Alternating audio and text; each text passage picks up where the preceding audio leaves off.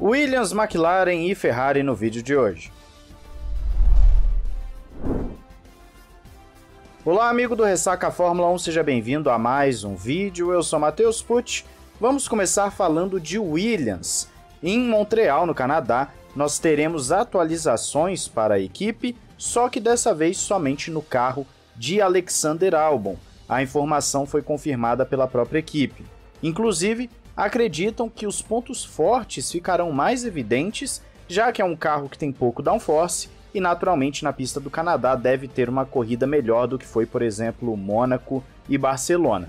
Ainda é dito que vão dedicar o tempo na sexta-feira para entender o novo pacote se está entregando mesmo conforme o esperado. Então, essa é a primeira grande atualização da Williams, pelo menos em tese, essa vai ser a primeira grande atualização da Williams o Logan Sargent vai permanecer com o seu carro padrão e o Alexander Albon com o upgrade. Os efeitos reais desse upgrade nós vamos ter que esperar para ver na pista. Eu quero saber a sua expectativa para a Williams, que tem uma nova gestão, tá agora com o James Valdes. Vamos ver se melhora a Williams.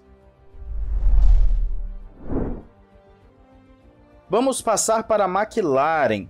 O chefe da equipe, o André Stella, falou que conversaram sim com a Red Bull há algum tempo, há alguns meses mais especificamente, em relação aos motores a partir de 2026.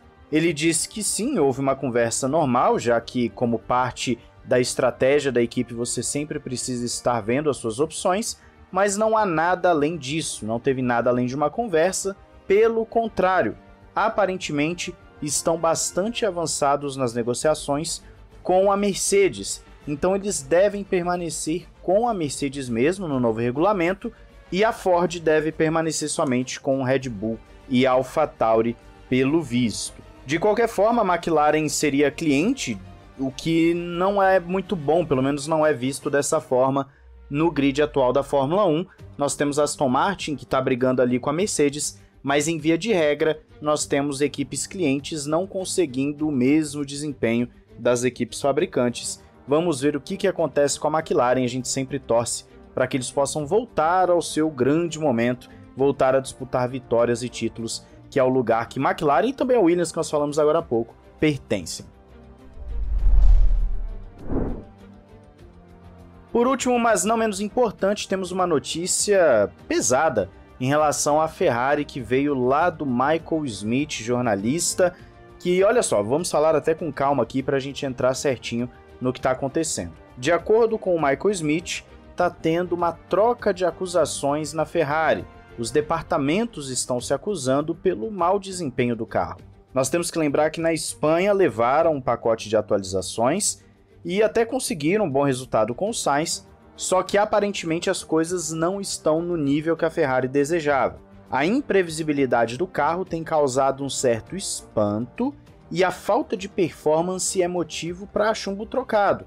Engenheiros de suspensão e os aerodinamicistas estariam se acusando e o clima interno na Ferrari seria péssimo. Frederico Fasser já admitiu que o maior problema da Ferrari é a inconsistência. O carro funciona muito bem em um, dois dias do final de semana, só que na corrida em específico não anda bem, simplesmente não desenvolve. Ainda de acordo com o Automotor Unisport, no caso, a Ferrari seria boa de corrida se a pista fosse um túnel de vento, mas numa volta de classificação, a aderência acaba sendo muito maior com os pneus novos e macios e com isso cobre as deficiências do carro. É como se o mundo de laboratório fosse completamente diferente do real em termos de resultados. As fragilidades do carro só ficam aparentes no domingo, quando nada é como numa classificação e isso é um problema antigo da Ferrari que está vindo desde o ano passado. Complementando ainda na informação do site, é dito que a Ferrari precisa descobrir quando e onde a Ferrari começou a ter esse problema. Mas lembram que no Grande Prêmio da França do ano passado, aquele que o Leclerc bate sozinho, você deve se lembrar, a Ferrari levou um pacote de atualizações e parece que aí começou todo o problema.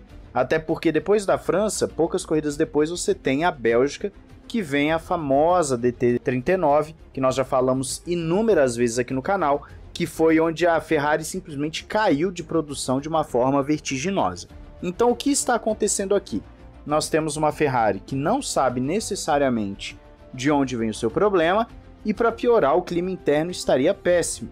Já falei também várias vezes aqui que esse negócio de ficar trocando toda hora chefe, pessoas, não ajuda, não tem por que ajudar se você nunca dá tempo ao tempo para você desenvolver um trabalho.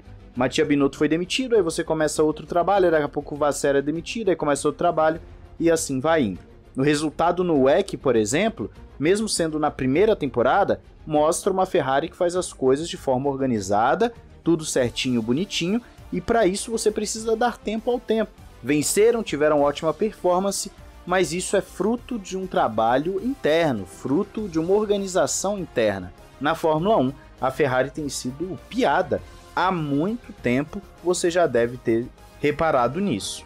Mas enfim, eu quero saber a sua opinião aí nos comentários sobre isso. Não esqueça de se inscrever e ativar o sininho para não perder nada. Teve o nosso vídeo hoje mais cedo do Guia do Grande Prêmio do Canadá. Se você não viu, dê uma olhada também. Tivemos o nosso Ressaca Doc no domingo. Ficou muito bom também. Dá uma passada lá. E agora fiquem aí com o momento deleite-se para vocês.